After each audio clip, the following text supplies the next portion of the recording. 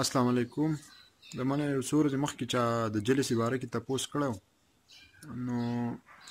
جلسي چې کوم ده کنه دا د مختلف وجونه کې دي شي خو د دې د ټولو نه بیسیک فیکټر چې کوم ده چې په ټوله معاشره کې دغه فیکټر عام دی او د هغې د وجې په انسانانو کې جلسي وي نو هغه د زموږ د مایند کنډیشنینګ زمونږ د ماینډ کنډیشنینګ داسې شوی دی د وړوکوالي نه مونږ ته دا ښودله شوي دي چې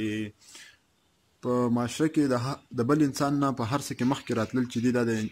د دنیا له ټولو نه امپورټنټ او اهم کار دی نو د دې کنډیشنینګ د وجې مونږ په هر څه کې مخکې راتلل غواړو نو د دې کنډیشننګ د وجې په مونږ کې جلسی راځي که چرې مونږ بل انسان له ځان نه مخ کې ووینو چې هغه په که په دولت کې شهرت کې شان و شوکت کې په بل څه هوده کې په تعلیم کې په بل څه کې نو په مونږ کې د جلسی هغه فیکټر راشي او مونږ کې جلسی راشي نو دا د بیسیک کاز دی چې په ټوله معاشره کې دی نور ساینټیسټ او سایکولوژیکل فیکټرز هم دي خو دا په عامه معاشره کې د ټول نه بیسیک کاز دی نو که موږ په ټوله معاشره کې جیلسي ختمول غواړو نو د ټول نه اهم خبره دا چې موږ دا کنډیشنینګ موږ د دې کنډیشنینګ خلاف کار وکړو د دې کنډیشنینګ خلاف کار داسې وکړو چې مطلب په دنیا کې صرف د بل انسان مخکې راتلل اهمه خبره نه ده بلکې موږ داسې هم کولای شو چې ټول انسانان مخکې راشو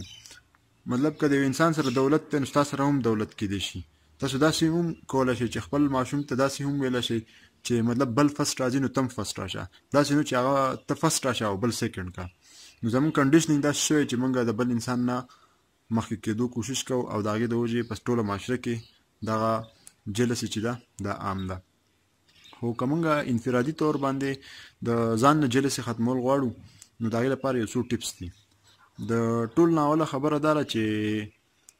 موږ له دا خبره اکسپټ کول پکار دي چې کله هم موږ جلس شو موږ له دا خبره اکسپټ کول پکار دي لکه دا خبره ابزرو کړای شوې ده چې اکثر خلک جلس کیږي خو دا خبره اکسپټ کوي نه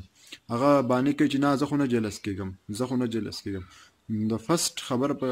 ټوله کې دا ده چې کله هم انسان د چا نه جلس کېږي نو هغه دا خبره د ځان سره اکسپټ کړي چې او زه د دې کس نه جلس شوم چې کله هم دا اکسپټ کړي نو نیمه خبره حل شوه دویمه خبره دا ده چې په ګپ ګپ کې دی هغه کس ته وینا کوي چې مطلب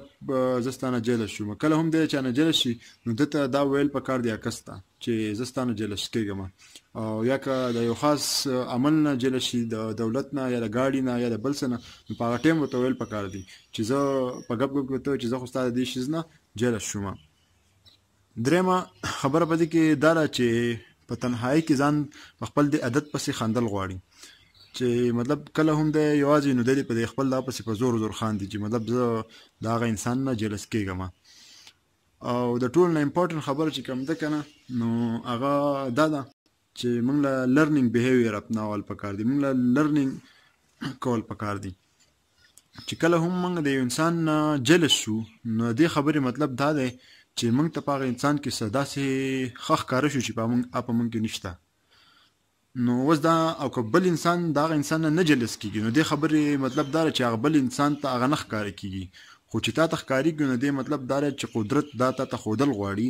چې په دغه انسان کې ستا نه څه سیوا شته دی نو چې تا ته کله دې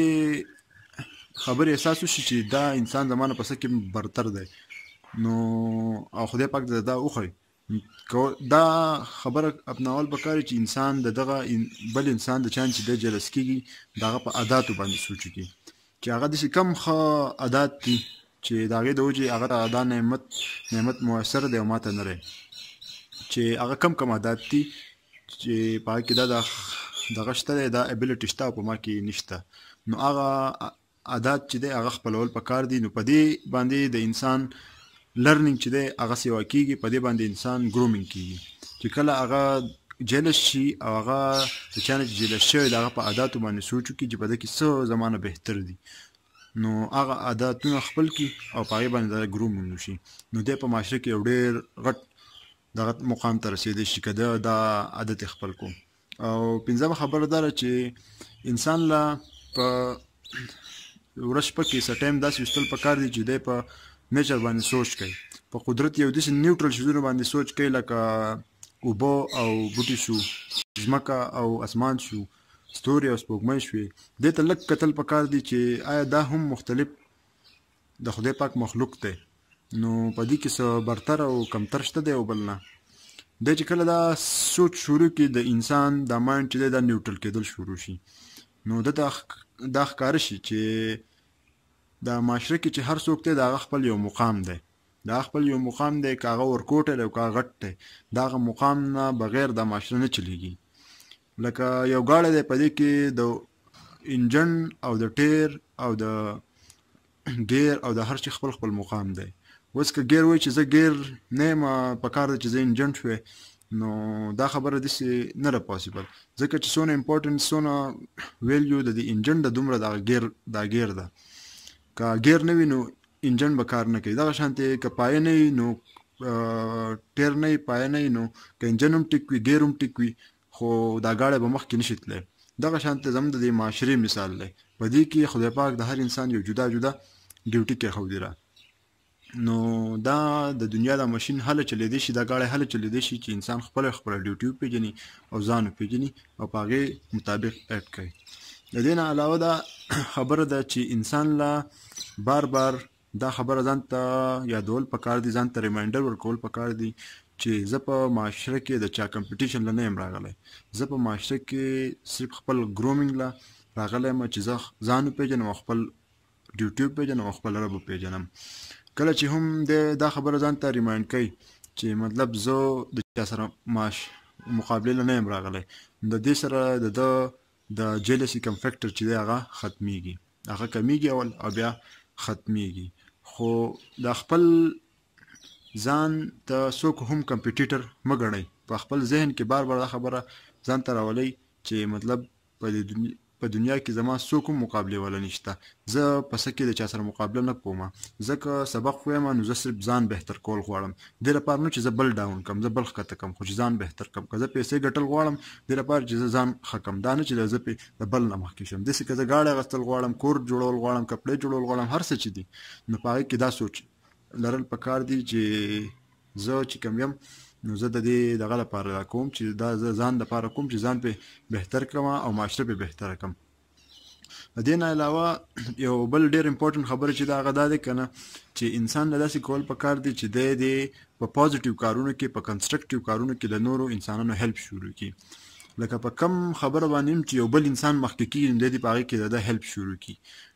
که دا هغه کسان هم وي چې دی ته جیلس کیږي خو دی دې د هغو هیلپ شروع کړي فور ایګزامپل یو کس په سټډي کې ډیر قابل دی ستانه مخکې دی خو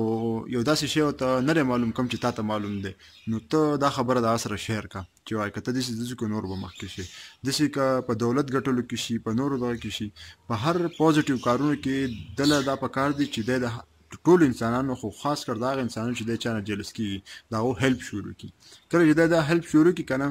نو د هغو په ترقۍ کې به د خپل ځان بیا محسوسوي چې مطلب دا انسان چې دا دونه ترقی کړې ده په دې کې زما لاس هم سنه سه شامل دی بلکې دا ټول معاشره چې دا ټول انسانان چې دا خدای پاک کومبه ده د به هغه محسوسه چې دا ټول چې دا خدای پاک مخلوق دی د به د نور په ترقۍ د نورو په خوشحالۍ باندې هم داسې خوشحالېږي څنګه چې دی په خپله خوشحالۍ باندې او په خپله ترقۍ باندې خوشحالېږي سلام علیکم